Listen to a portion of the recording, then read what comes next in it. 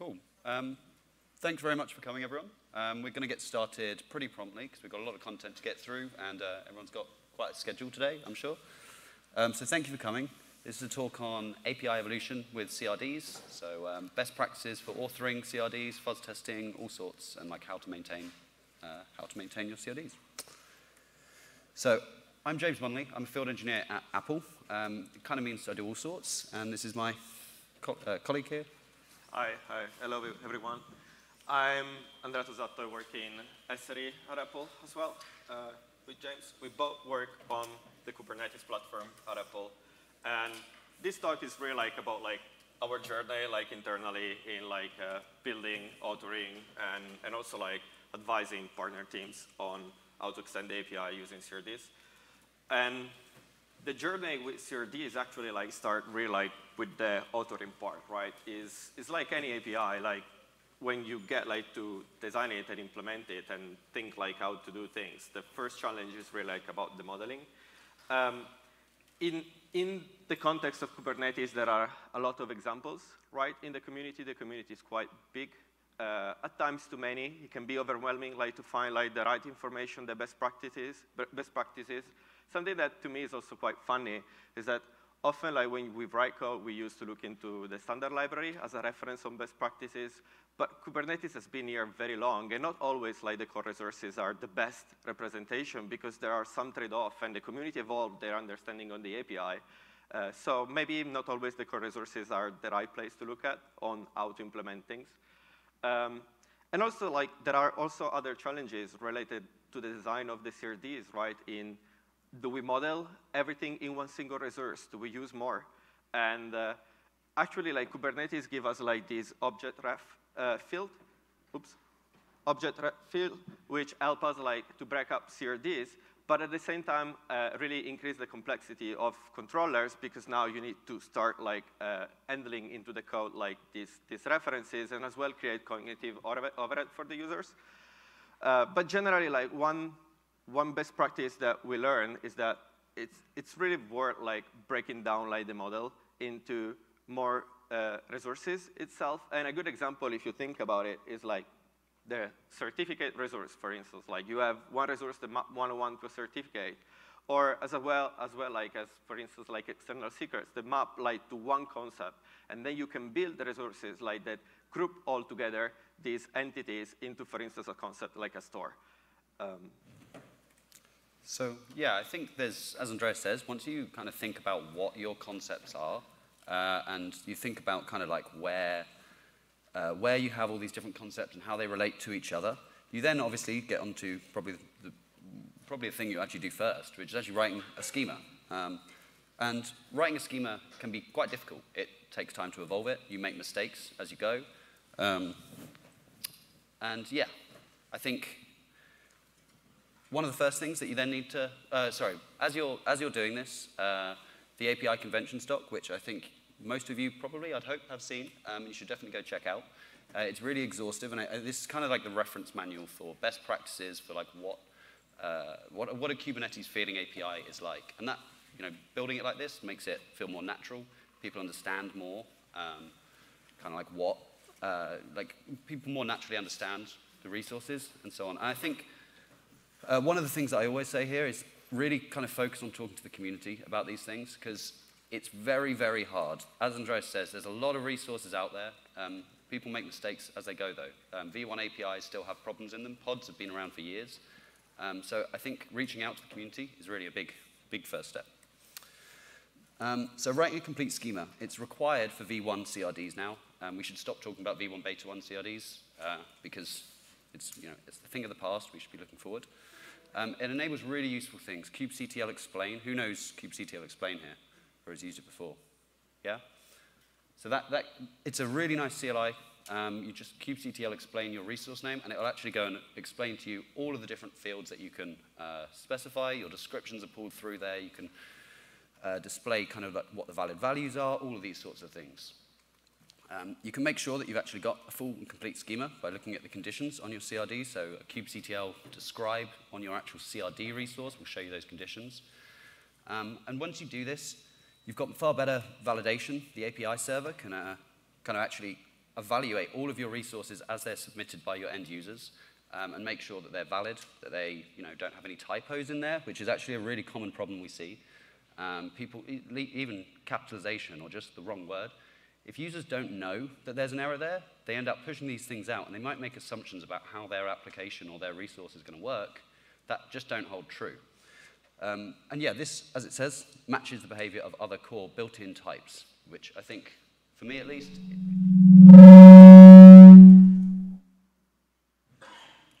we're good. Um, I think that's a really important piece there because people kind of become familiar with Kubernetes. It's already complex. We want to really reduce that cognitive overload and overhead. So, what can we do with OpenAPI schemas? First of all, as it says, we can actually uh, perform all this validation, defaulting, without expensive network round trips to uh, webhooks, validation webhooks, mutation webhooks, which we'll talk about in a bit. Um, you've got quite a lot of flexibility here. Things like max length on strings. It seems really like small, but if you don't set, specify a max length for these things, you can have a completely unbounded amount of data up until the etcd limit, which can become really problematic. Uh, same with lists, items. We've seen people accidentally insert 10,000 list items into a huge list, and that can be really problematic too for the API server, especially when you look at managed fields and some of these more advanced server-side apply stuff. Minimums, maximums just helps users once again. Um, regexes for strings, we can do all sorts there too. Uh, enum values to actually make sure that the values that's, user, that your users specify are valid and make sense, and that makes your controller code far, far simpler to write because you're not having to deal with all of these kind of other, uh, deal with values that are unknown. Uh, CEL, uh, who's heard of CEL here as well? Yeah, Common Expression Language. Um, so this is uh, out of Google, I believe, and um, originally. Um, and it, it, it, allows you to do some really, really advanced stuff with uh, your CRDs and far more, uh, far more validation. So here you can see um, we can do like comparators. We can say one field has to be greater or less than another and things like that. We can check to make sure that certain values are within certain lists and so on. Um, you've even got set operations in there and making sure that things are immutable. So self equals equals old self, make sure that we can't change anything. So defaulting, uh, yeah. If you have a resource, someone submits it, if you think, uh, think a pod, uh, sorry, a deployment or something, when you create that, if you don't specify the number of replicas, we can default that to one because you probably do want that to not be zero. Like it's that, that kind of intent. When a user reads that object back, they can then see that they've got replicas one. If we don't have defaulting, it might be unclear to users when they actually go to inspect their resources what the actual, uh, what, what, what's actually going on there. Image pull policy is another example. You know, if you didn't know, and you didn't just happen to know, new users are really not going to know what the behavior is going to be. Um, doing defaulting in your schema, as opposed to in webhooks and so on, means that you can, uh, these things can actually be applied on read operations as well. So if you have resources that were created previously, you can then still make sure defaults are applied.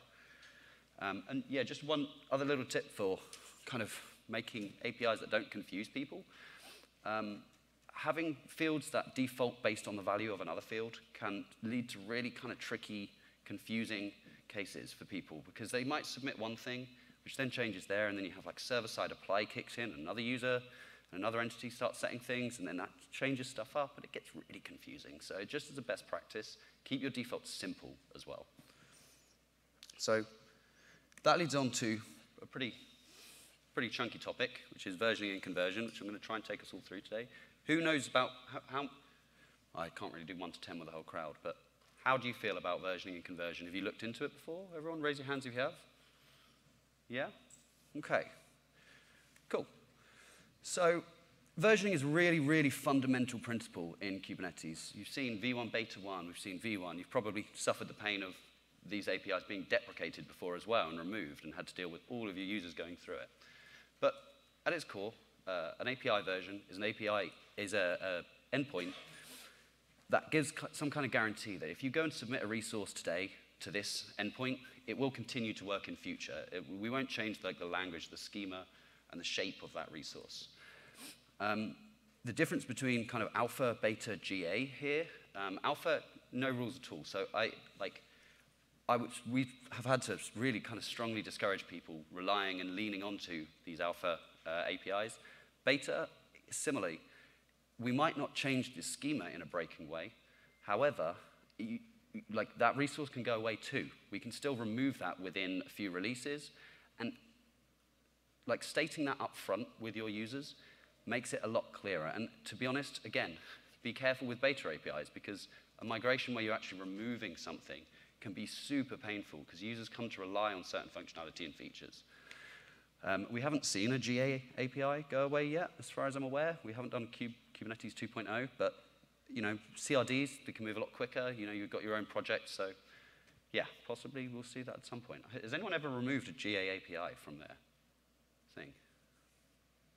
Cool, nice. That's good, I guess, ish. Um, so yeah, conversion enables the API server to kind of, uh, and in fact, I've got a nice diagram here. Um, it enables the API server to help coordinate different clients that are working at different versions. So here you see in etcd, it's hard for me to point, up in etcd, all objects are stored in some API version. So in this instance here, we've got the storage version set to v1 beta 1. That means as a user submits something, they could speak v1, v1 alpha 1, v1 beta 1, whatever. The API server will handle converting that into the storage version, v1 beta 1, persist that into etcd, and then from there, um, if any other client asks for it in a different version or anything like that, it can then it can handle that translation. Um, you can see here in internal uh, in like internal core types, we have uh, the idea of like an internal version and a hub, and, um, which uses the hub. So every, we write conversions between our external versions that users use and this internal one.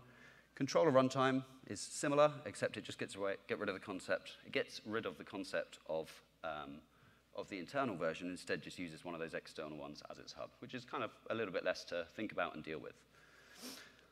So yeah, what can we do with CRDs here? Because the API server obviously compiles in a lot of this code, and we need to actually make sure that we're, um, we, we, we can't compile code into our API servers when we're using CRDs.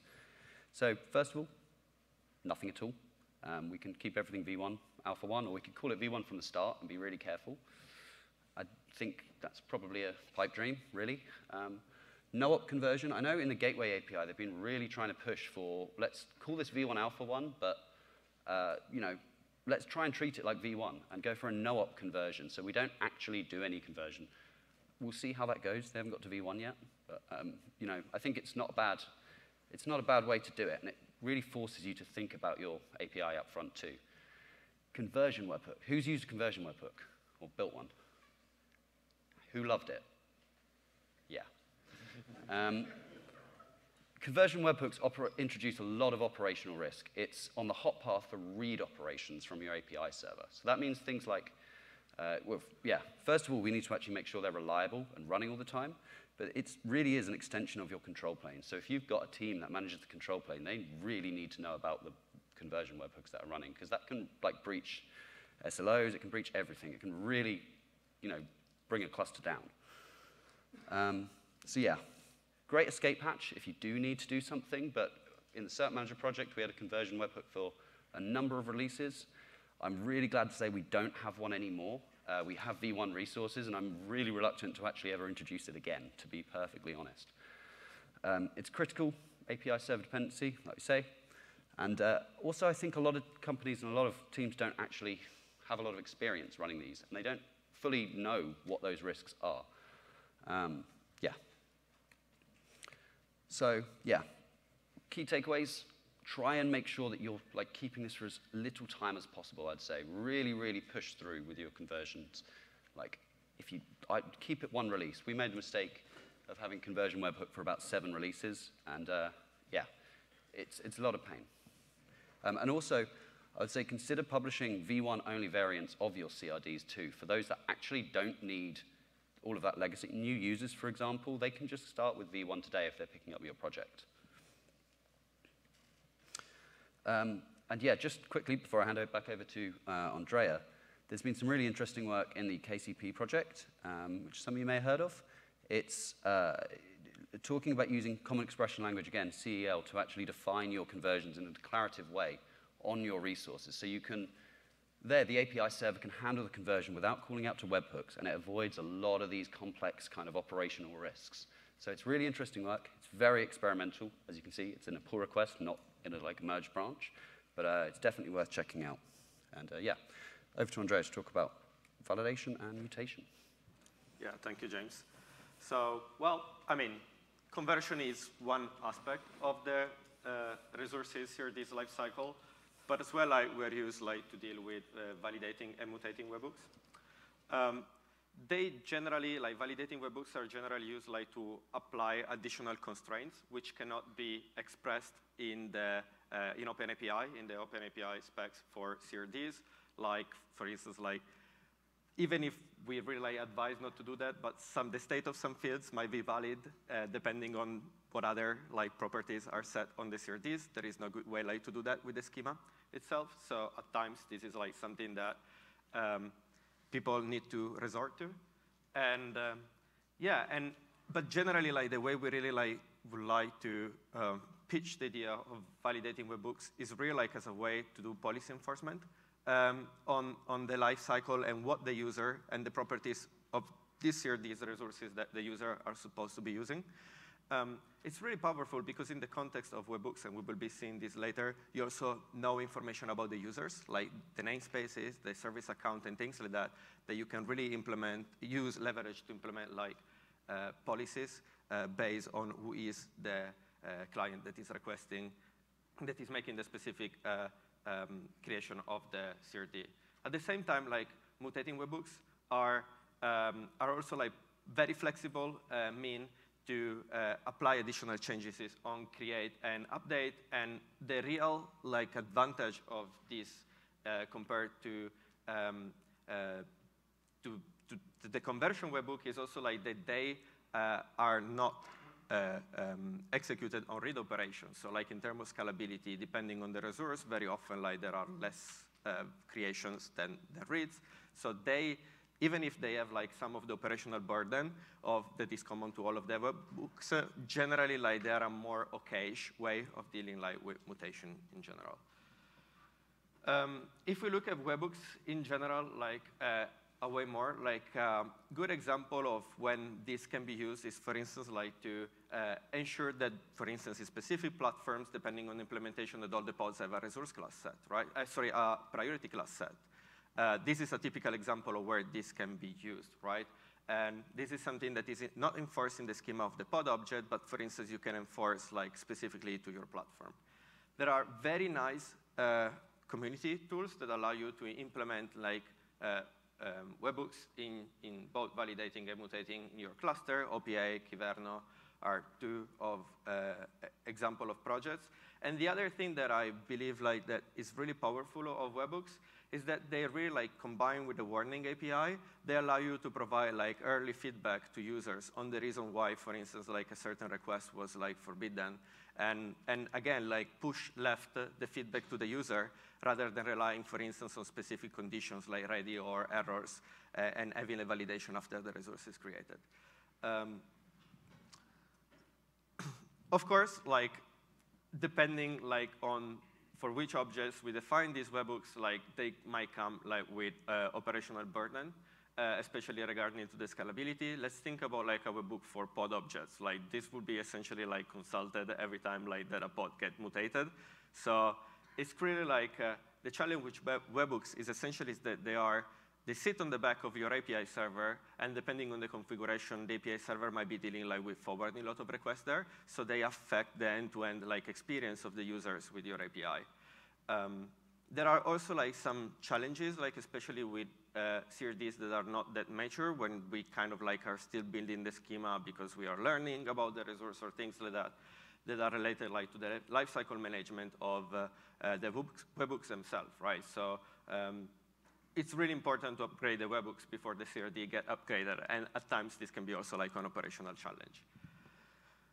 Um, one thing that we want to mention, which is really interesting, I believe, is uh, um, this uh, KEP, which is essentially like about, again, using CEL in order to uh, move admission into the API.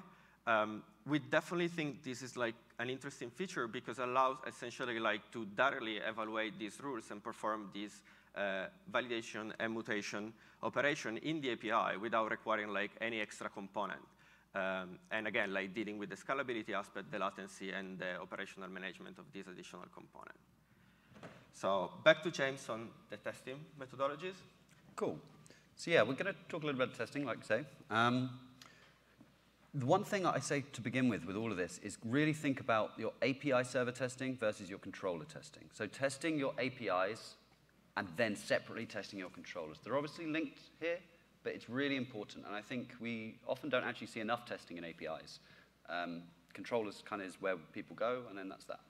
So I'm going to go through kind of the different strategies for this, unit testing, integration testing, end-to-end -end testing with some examples.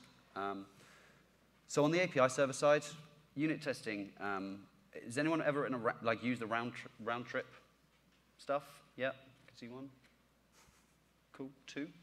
Um, so yeah, basically this will generate completely random values for like of your objects, convert from one version to another version, and then make sure that they it, the object's still the same. So it makes sure that it's completely like round trip round tripable to use the word that it is, but um, it, it makes sure that your conversions are correct, basically. Um, and that's really, really important because if it's not, then if a user reads in one API version, uh, it, they might start getting different data. And especially with these conversion webhooks or any, any kind of conversion, to be honest, that can lead to a really confusing state for your cluster uh, and for your client. And that can really kind of start to break things again. And it will be subtle, and you won't notice it, and it will be horrible. Um, schema fuzz testing is a way to actually ensure that your schema is correct. So that's taking your like Go type that you've defined, generating random values, and then applying your, your schema to that, to that type and to that generated instance of your type to make sure that we're not losing any data again. So that makes sure that's effectively applying things like the pruning uh, that the API server does um, and validation there to make sure that we, are, we have a complete schema that actually does account for all of the different fields uh, in your Go type. Um, perhaps more obvious here, webhooks, that's firmly an API server-side concern. Unit testing, make sure your validations and mutations have tests. I think they're possibly a bit simpler for us to think about. We can, you know, it's a more traditional thing here, uh, but make sure we're doing things right. Um, and another one that I really like is writing a corpus of actual valid resources and possibly some invalid ones too. Um, as we evolve things and make changes, you know, projects expand, new people come on board, it can be easy to accidentally make these mistakes. And just having that as kind of like a safety net there can really just give you a bit more confidence that we're not accidentally going to, you know, change something and cause existing resources that users have already created to suddenly become invalid. Um, integration testing. So I, I think integration testing here for, um, it, we can make sure that basically things work. I think a lot of a lot of the tests that we write for the API server side can be encompassed into integration tests. Um, basically making sure that we can create a resource in one version uh, and then read it in another. Really simple stuff, but like that will catch the majority, I think, of the issues that you tend to find. Um, defaulting, make sure things are set. Validation, make sure it says no if you said something wrong. Really, really kind of trivial stuff, but it, it's important because if we don't do this, that this is you know, this is the whole point of the API, is to do these things. Um, and E2E testing, I tend to think E2E tests for the API side is more like, if I create this you know, webhook deployment, if I go and create this CRD, does it work? You know, have I specified the right ports on my thing? So that's far higher level, more operational sort of stuff, but yeah. Uh, and then, yeah, things like RBAC too, we've got quite a few things to consider. And on the controller side, yeah, on the controller side, like um, we are normally like we do like Go test. If you use like for instance client Go and controller runtime, uh, you might be used like to interact with a fake client. Um, we normally like do testing starting from the reconcile function, which is the function that is handling all the uh, object events. Um, one of the caveats that we found like with uh, fake client is, for instance, that any, we believe it's something that is very important like to do, is that it's very hard like to simulate error condition of the API. What if the API is returning you 429, go away? How does your controller behave? What if is returning you an error like on an update operation? This is something that is actually pretty hard like to model with the fake client. Uh, we often end up mocking the Kubernetes client in order to handle all this potential error condition. But it's really an important aspect to make sure uh, about enforce and test the correctness of the behavior of the controller, which might lead also like to uh, scenarios in which, for instance, controllers are stuck, they cannot progress the reconciliation, or eventually like they back off too often, and, and therefore like you don't see like the uh, operation getting to an end. Or worse, they don't back off at all. Yeah, um, exactly. Yeah, which is a real problem. Yeah. And actually, like something that is interesting about controller runtime is really like testing the result. Like the, the result is what we do expect, right? Do we want to bake off in this case? Do we want to return an error so that like controller runtime is handling for us the back off? Do we want to have a fixed retry window? What we, do we want to do? This is actually something very interesting, I think, to model as we, in order to build robust controller on top of the API. And, and one library that helps with that, I think, is really like envtest, which is essentially a kind of evolution of uh, uh, the fake client in, in, in the Kubernetes uh, um, Go libraries, which really allows you to spin up like a real API server and an etcd, uh, and as part of the execution uh, of your uh, test. And it's really powerful because allow you like to test all these aspects that exist in the API that otherwise would be in the API server that otherwise would be very hard like to test. And if you look at some of the things that are happening like in the community, again, CEL or webhooks or things like that, it's really allowing you to glue all of these things together and test the behavior of the controller with all these elements, not only like with the API resources themselves as they get created without all these add-ons. Um, really like, it's really lightweight and this is something pretty incredible. And, and I definitely, I think this is must do for all the controller, like being able to test against the API without using like fake clients, like testing the real behavior of the API, as well as because the API evolves. There are new versions of the API server that come along, and it's important to test the upgrade path, and this is the right way to do that. Not only updating the version of the libraries, but as well testing the real API server behavior. Um, the, last, the last thing, of course, again, about controller, E2E testing. As James said, like E2E testing is mostly like a way to validate the behavior like of the controller in a, in a cluster, like with all of the other controllers that they might be interacting with, coordinating with. It's mostly like if, if I put like my SRE on, it's mostly like for us a way to make sure that everything still works as we do expect, that we don't break like the expectation of our users uh, when they create the resources and the controller get to handle them, more than a real way to kind of like test in the development uh, lifecycle, like the controller behavior itself. It's mostly like something more targeted to the um, later feedback, which is the operational feedback. Uh, and, and, also, as James pointed out, this is where we test our expectation about RBAC permissions and, and interaction with other resources. Um, one thing that is important, especially like for our project, we often like kind of like provide hints and examples to the users on how they should be using, like, or they're expected to use the resources it's important to keep testing them, like making the documentation always like actual. And this is something where, again, E2Es can help a lot. So few closing thoughts. Uh, we are about at time.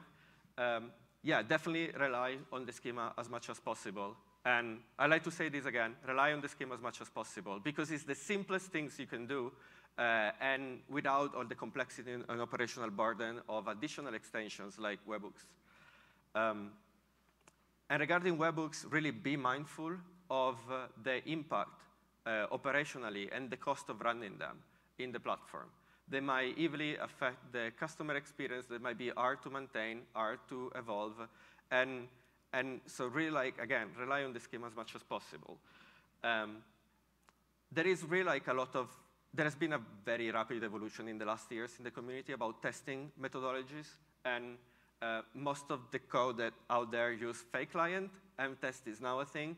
Uh, really like revise your testing and, and, make sure to use envtest in order to cover more and learn of the aspect of the, of the controller interaction with the API. And, and as well, like again, this is an area that envtest is not covering, make sure to test also the error condition and the behavior of your controllers in case of errors. Back off 500, whatever error that the API is returning. envtest, again, is not giving you any real helpers today to test like all of these error conditions. So this is where uh, you need to do extra work, uh, maybe mocking the client, but do it because it's important uh, to ensure the resiliency of the controller and your code in production. Thank you.